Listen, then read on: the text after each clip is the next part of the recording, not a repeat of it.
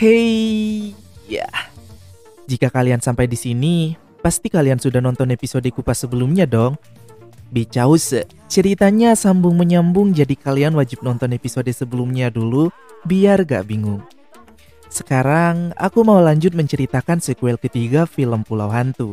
Film ini dirilis pada tahun 2012. Wih, lama juga ya.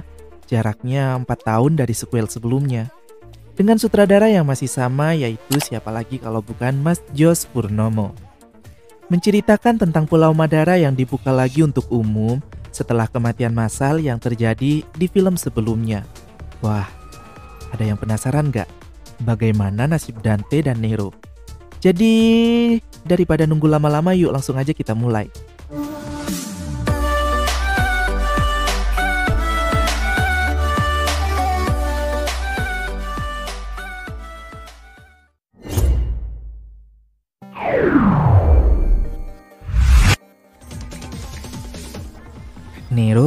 Dante yang sebelumnya kabur dari Pulau Madara ditenggelamkan di tengah laut. Neronya selamat, namun dia kehilangan sementara sebagian ingatannya.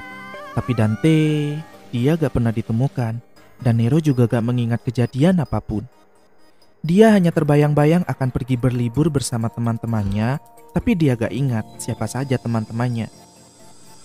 Setelah kematian masal misterius yang terjadi di Pulau Madara, tempat itu sempat ditutup beberapa bulan. Namun, lambat laun, cerita itu akhirnya terlupakan dan seorang pengusaha bernama Patigana membeli pulau tersebut untuk dijadikan tempat wisata yang semakin eksotis. Terlihat seorang pria sedang melakukan ewita di resort itu. Kemudian usai mereka enak-enak, si wanita didatangi oleh sosok yang menyeramkan untuk merenggut nyawanya. 5000 km dari Pulau Madara, beberapa anak muda sedang melakukan olahraga bersepeda gunung. Nero juga ada di sana bersama temannya yang bernama Kimo. Mereka berdua ini cukup stres belakangan ini dalam mencari pekerjaan yang sangat sulit didapatkan.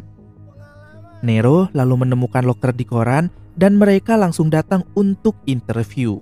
Di sana juga ada dua wanita bernama Okta dan Gebi yang juga sedang melamar pekerjaan. Nah, saat mereka mengatakan bersedia ditempatkan di mana saja, keesokannya mereka diminta menunggu di dermaga 13, kemudian segera meluncur ke Pulau Madara. Singkat cerita, saat tiba di sana, mereka disambut oleh Galigo yang kalau kalian ngikutin ceritanya dari awal pasti tahu dia siapa. Nero merasa kalau dia seperti pernah bertemu, tapi dia gak mengingat pasti. Nero juga seperti gak asing dengan tempat itu dan seakan mengalami diafu. Dia ketakutan tapi ketakutannya hilang saat melihat di sana banyak ciwi-ciwi yang cantik-cantik, aduhai mempesona, melegelegar badai. Belum lagi manajernya yang bernama Monica. Hui, seksi bahenol cuy. Begitu pula dengan si pemilik pulau. Hui, ketampanannya bikin ciwi-ciwi basah hamil tanpa disentuh. Lihat saja ekspresi Gaby dan Okta ini. Saat diajak keliling untuk mengenalkan fasilitas resort, Nero benar-benar yakin jika dia pernah datang ke tempat itu. Belum lagi dia melihat penampakan si hantu mulut mangap. Mereka berempat bisa langsung bekerja saat itu juga. Lalu menyambut kedatangan tamu baru dari desa bernama Monca yang berniat mau liburan. Dan setelah itu gak ada adegan yang penting-penting selain menikmati aurat para ciwi-ciwi sih. Nah, singkat cerita, suatu malam Nero menceritakan kegelisahannya, mulai dari kecurigaannya terhadap Patigana yang bertingkah aneh dan juga Galigo yang sepertinya Nero pernah melihatnya. Namun teman-temannya gak ada yang percaya jika Patigana itu orang jahat, karena orang ganteng kan selalu baik. Nero lalu bercerita kalau dia dan teman-temannya pernah ke suatu pulau, dan di pulau itu ada penunggunya, Kemudian teman-temannya satu persatu dihabisi. Kimo lalu dengan sombongnya mengatakan gak takut apa pun karena dia memiliki jimat jenglot yang diketawain sama teman-temannya.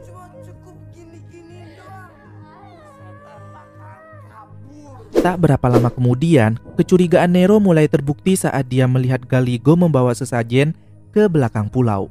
Dan dia juga memergoki Patigana bertingkah aneh keluar dari gudang. Nero dan Kimo sangat terkejut saat melihat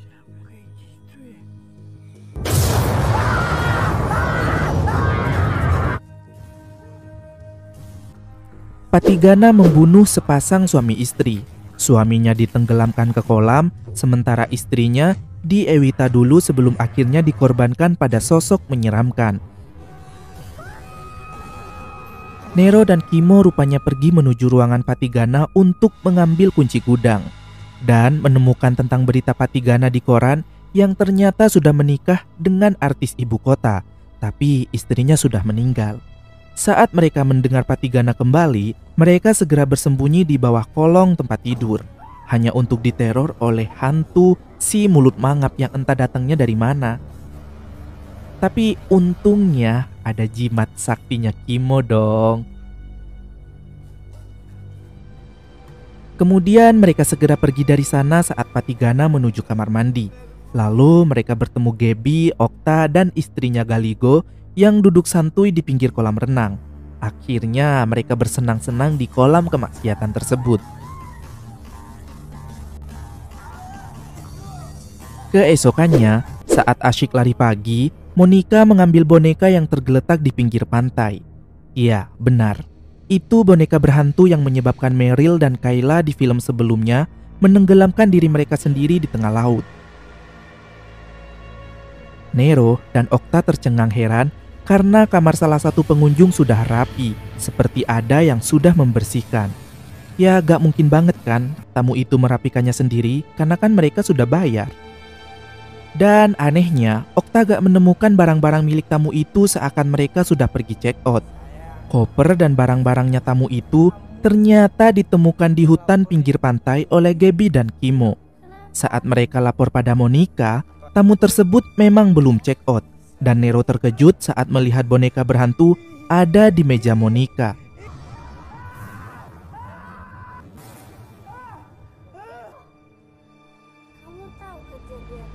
Monica kemudian menemui Galigo untuk bertanya, tapi Galigo justru juga mau melaporkan keanehan-keanehan yang terjadi belakangan ini. Monica bertanya apakah Galigo melakukan tugasnya dengan baik dalam memberikan sesajen ke kuburan belakang pulau Galigo pun memastikan jika dia rutin memberikan sesajen dan pengunjung juga gak ada yang pergi ke belakang pulau. Mereka pun heran, apa yang sebenarnya terjadi? Beberapa saat kemudian, Nero membawa Okta untuk ngebuktiin kalau Patigana itu memang benar orang jahat. Dia membawa Okta ke gudang belakang tempat Patigana melakukan ritual. Dan betapa terkejutnya mereka saat menemukan mayat istri Patigana yang sudah meninggal tapi gak dikubur melainkan dibiarkan mengapung di tempat yang seperti kolam gitu guys. Sementara itu, Kimo yang sedang membersihkan kamar mandi tamu ingin mencoba mandi di bathtub. Dan saat dia melepas semua pakaiannya, kemudian masuk ke bathtub, dia mulai diganggu oleh hantu dan dia pergi berlari ketakutan tanpa selai benang. Setibanya di kamar, Kimo segera mengambil jimat dan mengusap-ngusap rambutnya. Tapi jika dilihat dari sudut pandang yang berbeda nih, Kimo seperti sedang melakukan senam lima jari yang dipergoki oleh Gebi hingga terjadi salah paham. Namun ada yang lebih gawat dari itu. Nero dan Okta memberitahu apa yang mereka lihat dan mereka mulai curiga jika Patigana sedang melakukan ritual sesat. Dan benar saja, ternyata Patigana harus meniduri tujuh wanita dan menukarkan nyawa mereka usai di Ewita pada iblis pengontrol nyawa demi menghidupkan istrinya kembali. Dan Patigana ternyata sudah melancarkan aksinya beberapa hari belakangan ini, hingga sisa empat wanita lagi yang harus ditidurinya. Malam itu Patigana berniat akan melakukan aksinya lagi dan Nero juga Kimo yang mengintai dipukuli oleh sosok yang gak diperlihatkan. Patigana sendiri langsung melakukan trisam hingga tersisa dua wanita lagi yang harus diewita. Usai enak-enak, tentu dua wanita itu dijemput oleh sosok menyeramkan untuk dibunuh dan diambil nyawanya. Sementara Nero dan Kimo yang pingsan ditarik oleh seseorang dan bangun-bangun, mereka sudah ada di dalam kamar. Kemudian mereka mendengar desahan kemaksiatan wanita dengan bonus suara ranjang goyang yang ternyata Galigo sedang melakukan cocok tanam jam 11 malam. Parahnya nih, mereka disuruh nunggu tiga setengah jam untuk mendengar penjelasan Galigo. Anjir, itu nge apa bikin film sih? Jam setengah tiga pagi, setelah Galigo dan istrinya selesai mandi junub, dia mulai bercerita kalau dia yang sudah membawa Nero dan Kimo karena mereka ditemukan dalam kondisi pingsan. Nero dan Kimo pun yakin jika Patigana lah yang sudah memukul mereka. Gaby yang ada di kamarnya mulai diganggu oleh Tulut Ngap dan Kimo mencoba menenangkannya. Kemudian keesokannya, Kimo menghayal digrepe-grepe oleh dua wanita, sementara Monica mulai diteror oleh hantu boneka. Patigana sendiri kembali melancarkan aksinya. Setelah Ewita dengan salah satu pengunjung, dia segera pergi dan cewek tadi didatangi sosok menyeramkan yang akan mengambil nyawanya. Meski Nero dan Kimo berhasil menahan raga cewek itu agar gak dibawa si hantu, tapi cewek itu ya tetap meninggal karena nyawanya sudah ditukar dengan susu kental manisnya Patigana. Jadi gimana nih cewek-cewek? Kalian mau Ewita dengan cogan satu kali tapi nyawa kalian hilang setelah dibuahi Atau Ewita berkali-kali dengan orang jelek tapi masih bisa menjalani hari? Kita tunggu jawaban kalian ya Setelah melihat kematian pengunjung di depan mata, mereka semua panik.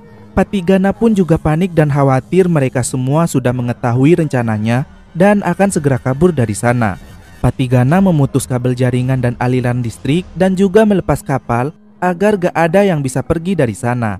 Karena ritual yang dilakukan Patigana masih belum selesai dan kurang satu wanita lagi yang akan ditidurinya. Sementara mereka yang tersisa mulai berdebat dan percaya pada Nero kalau yang meneror mereka saat ini bukanlah hantu keramat belakang pulau, melainkan sosok iblis yang dibawa Patigana untuk ritualnya.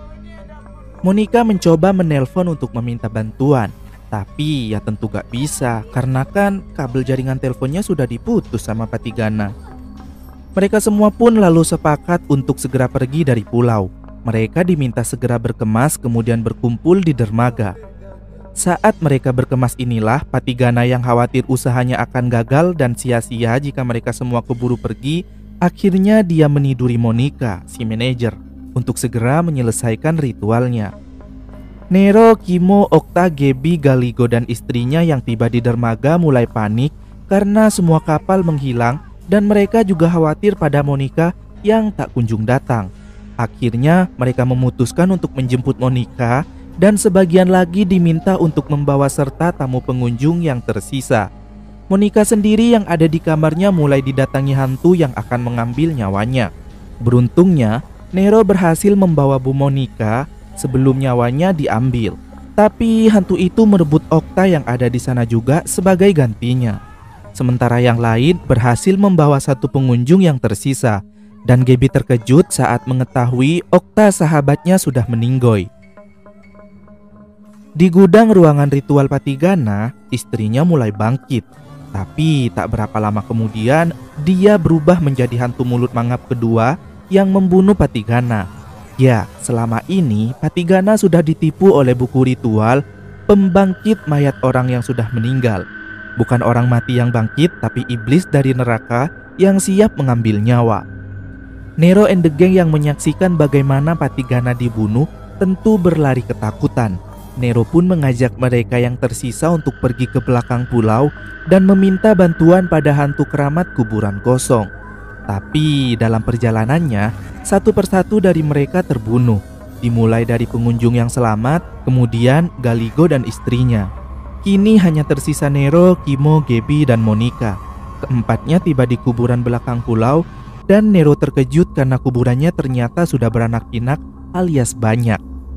Nero berkata jika ada penghuni baru yang akan merebut kekuasaan pulau itu.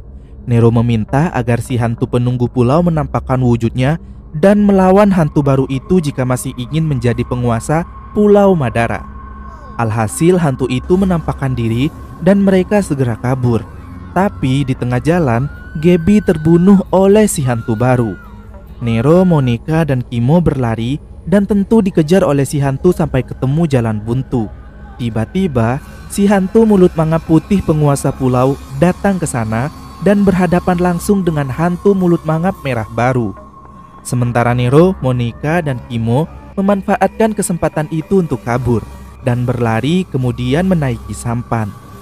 Kedua hantu mulut mangap merah putih itu sepertinya sedang berduel hingga terdengar jeritan dan mungkin si tulut ngap merah kalah.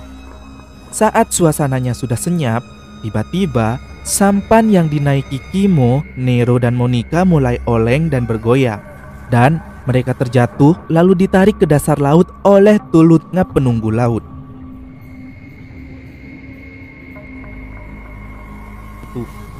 Dan apakah bakal ada sequel berikutnya?